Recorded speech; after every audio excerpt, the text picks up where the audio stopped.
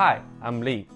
Today I'm going to show you how to use the Red Sea Calcium Pro Test Kit.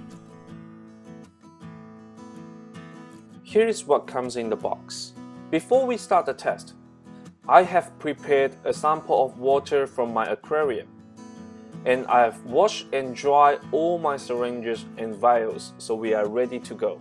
First, use the large syringe provided and place exactly 5 ml of water sample into the glass vial. Then add 5 drops of reagent A into the vial. Make sure the bottle are completely upside down so we can ensure they are full drops.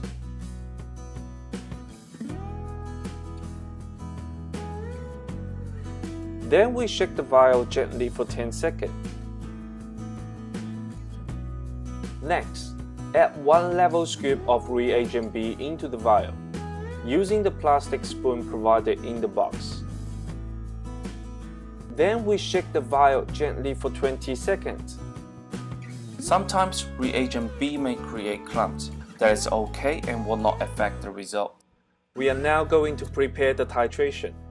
Use the 1 ml syringe provided to take 1 ml of Titrant C.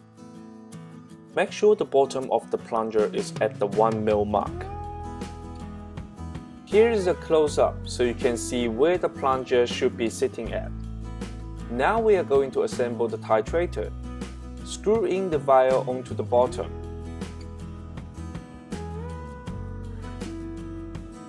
And we insert the syringe into the titrator. Make sure the scale is clearly visible.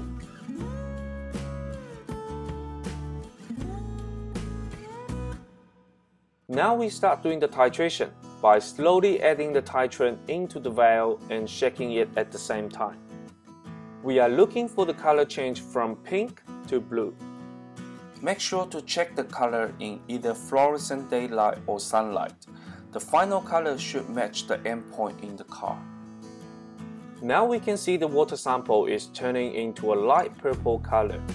We will slow down the titrant adding and only add one drop at a time.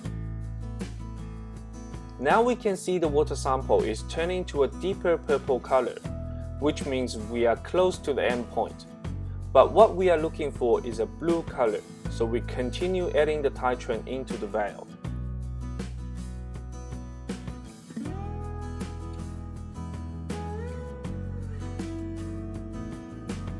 As you can see, the water sample did become blue for a moment, but it turned back to purple quickly. In this case, we need to add another drop until it remains blue.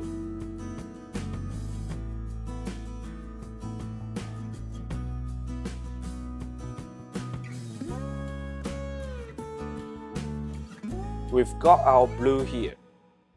Wait to see that it remains the same blue as in the card's endpoint for at least 10 seconds. Now let's take the reading.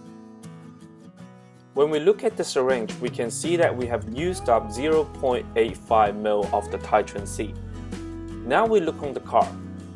On the back of the card there's a table, and we look for 0.85. There isn't 0.85 but there's 0.84 and 0.86. The midpoint between them gives us a reading of 425 ppm of calcium. And that is the end of the Calcium Pro test. Thanks for watching and don't forget to subscribe. Bye!